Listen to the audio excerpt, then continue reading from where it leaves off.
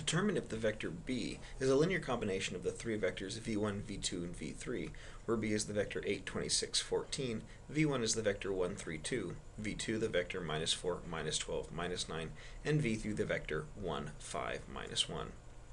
Now remember that the question is asking whether or not b is a linear combination.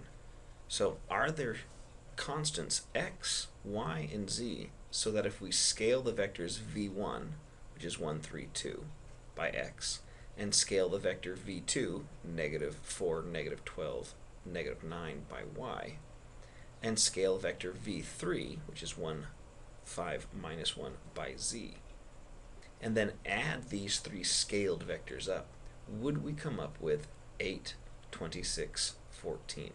That's what the question is asking.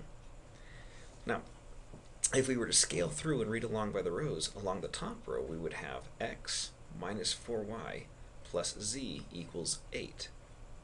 Along the second row, 3x minus 12y plus 5z equals 26.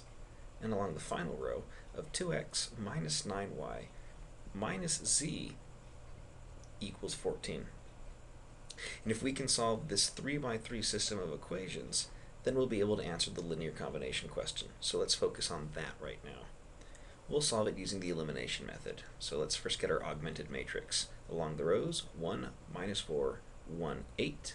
Along the second row, 3, minus 12, 5, 26. And along the third row, 2, minus 9, minus 1, 14. And now let's row reduce this.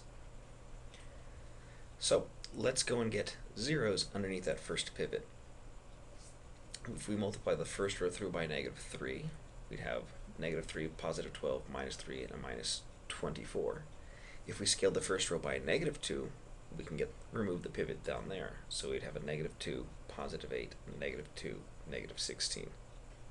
So let's add these two rows up using our linear combination row operation. So the first row stays the same, but the new second row becomes 0, 0, 2, and negative, or positive 2, sorry. And the third row becomes 0, minus 1, minus 3, minus 2.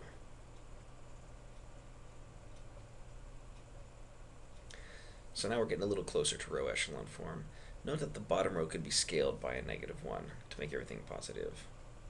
And if we switch the two rows around to get 1 minus 4, 1, 8, 0, 1, 3, 2, and 0, 0, 2, 2, we're in row echelon form. Notice that that last row could be scaled by one half, so let's just do that now. Now that we're in echelon form, we can foop the system back and solve these equations. The bottom states z is 1, row 2 is y plus 3z equals 2, and the top is x minus 4y plus z is 8. So if we can solve these three equations, we're going to be able to answer the linear algebra, or the linear combination question. We now know that z is 1. Plugging that into the second equation says that y well, plus 3 is 2, or y is minus 1. Taking these two values and plugging them into the top equation, we're going to have x minus 4 times minus 1 plus 1 is 8.